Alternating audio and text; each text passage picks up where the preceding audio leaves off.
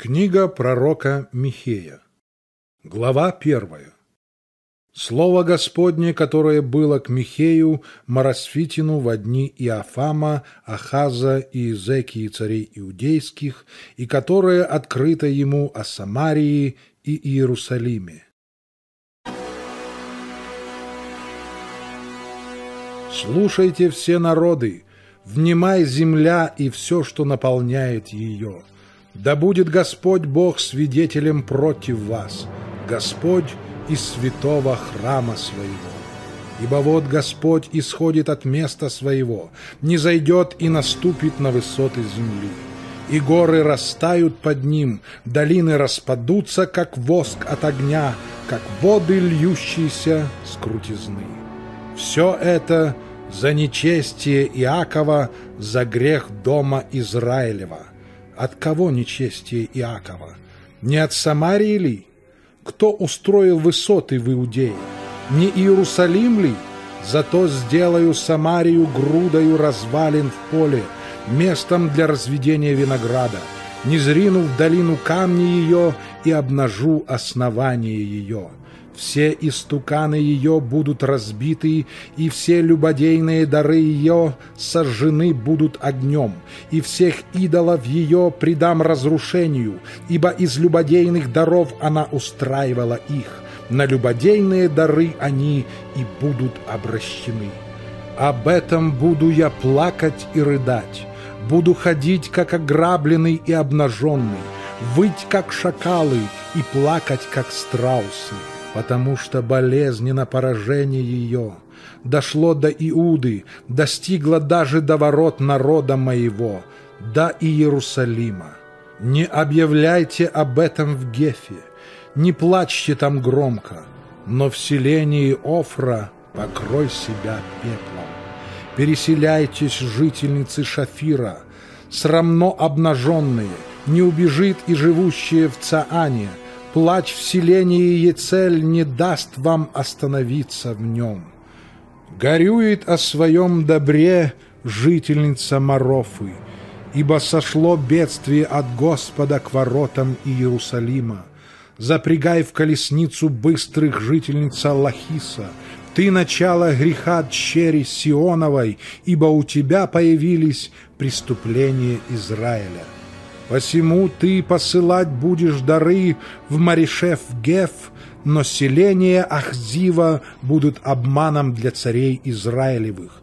Еще наследника приведу к тебе жительница Мареша.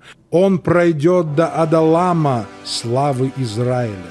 Сними с себя волосы, остригись, скорбя о нежно любимых сынах твоих. Расширь из-за них лысину, как у линяющего орла, ибо они переселены будут от тебя.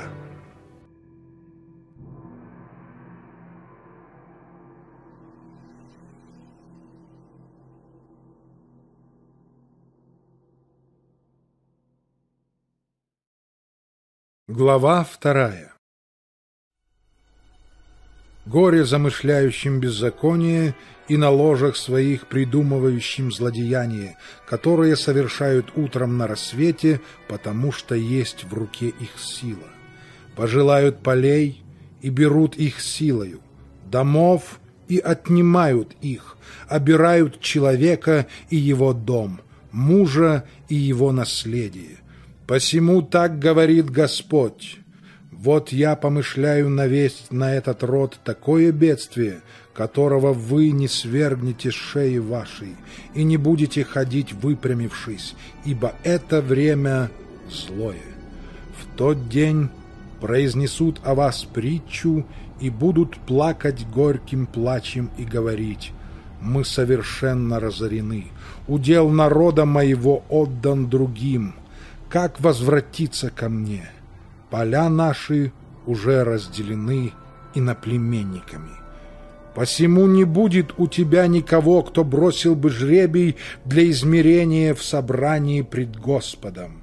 Не пророчествуйте, пророки, не пророчествуйте им, чтобы не постигло вас бесчестие.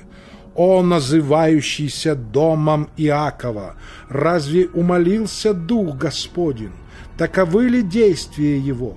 Неблаготворны ли слова мои для того, кто поступает справедливо? Народ же, который был прежде моим, восстал как враг.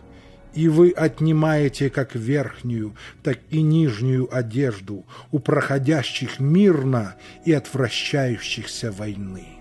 Жен народа моего вы изгоняете из приятных домов их, у детей их вы навсегда отнимаете украшение мое. Встаньте и уходите, ибо страна сия не есть место покоя. За нечистоту она будет разорена, и притом жестоким разорением. Если бы какой-либо ветреник выдумал ложь и сказал, «Я буду проповедовать тебе о вине и секере», то он и был бы угодным проповедником для этого народа.